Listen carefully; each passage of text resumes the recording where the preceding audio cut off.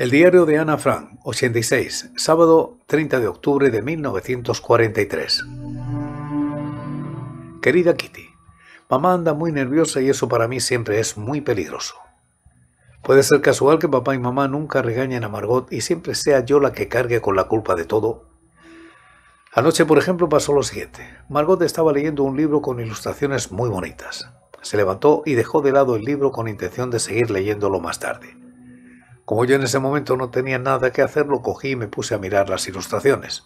Margot volvió, vio su libro en mis manos, frunció el ceño y me pidió que se lo devolviera enfadada. Yo quería seguir leyéndolo un poco más. Margot se enfadó más y más y mamá se metió en el asunto diciendo, ese libro lo estaba leyendo Margot, así que dáselo a ella. En eso entró papá sin saber siquiera de qué se trataba, pero al ver lo que pasaba me gritó, ya quisiera ver lo que harías tú si Margot se pusiera a hojear tu libro.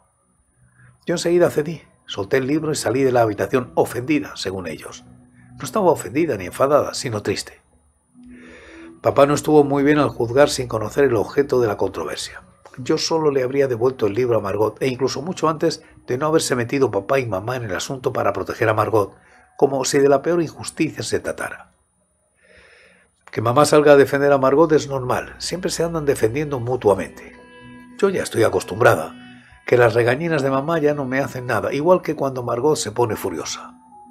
Las quiero solo porque son mi madre y Margot, como personas por mí que se vayan a freír espárragos. Con papá es distinto. Cuando hace distinción entre las dos, aprobando todo lo que hace Margot, alabándola y haciéndole cariños, yo siento que algo me carcome por dentro, porque a papá yo lo adoro, es mi gran ejemplo. No quiero a nadie más en el mundo sino a él. No es consciente de que a Margot la trata de otra manera que a mí. Y es que Margot es la más lista, la más buena, la más bonita y la mejor. ¿Pero acaso no tengo yo derecho a que se me trate un poco en serio? Siempre he sido la payasa y la traviesa de la familia. Siempre he tenido que pagar dos veces por las cosas que hacía. Por un lado, las regañinas y por el otro, la desesperación dentro de mí misma. Ahora esos mismos fíbolos ya no me satisfacen, como tampoco las conversaciones presuntamente serias. Hay algo que quisiera que papá me diera que él no es capaz de darme. No tengo celos de Margot, nunca los he tenido.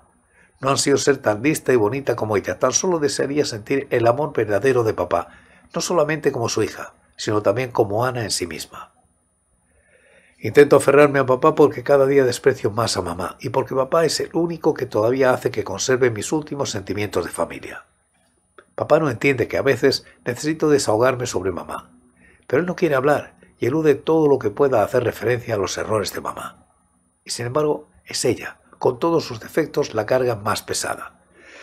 No sé qué actitud adoptar. No puedo refregarle debajo de las narices su dejadez, su sarcasmo y su dureza, pero tampoco veo por qué habría de buscar la culpa de todo en mí. Soy exactamente opuesta a ella en todo y eso naturalmente choca. No juzgo su carácter porque no sé juzgarlo, solo la observo como madre. Para mí, Amán no es mi madre. Yo misma tengo que ser mi madre. Me he separado de ellos, ahora navego sola y ya veré dónde voy a parar. Todo tiene que ver sobre todo con el hecho de que veo en mí misma un gran ejemplo de cómo ha de ser una madre y una mujer, y no encuentro en ella nada a lo que pueda dársele el nombre de madre. Siempre me propongo no mirar los malos ejemplos que ella me da. Tan solo quiero ver su lado bueno, y lo que no encuentre en ella buscarlo en mí misma. Pero no me sale. Y lo peor es que ni papá ni mamá son conscientes de que están fallando en cuanto a mi educación, y de que yo se lo tomo a mal. ¿Habrá gente que pueda satisfacer plenamente a sus hijos? A veces creo que Dios me quiere poner a prueba, tanto ahora como más tarde. Debo ser buena sola, sin ejemplos y sin hablar, solo así me haré más fuerte. ¿Quién sino yo leerá luego todas estas cartas? ¿Quién sino yo misma me consolará? Porque a menudo necesito consuelo. Muchas veces no soy lo suficientemente fuerte y fallo más de lo que acierto, lo sé, y cada vez intento mejorar todos los días. Me tratan de forma poco coherente. Un día Ana es una chica seria que sabe mucho y al día siguiente es una borrica que no sabe nada y cree haber aprendido de todo en los libros. Ya no soy el bebé ni la niña mimada que causa gracia haciendo cualquier cosa.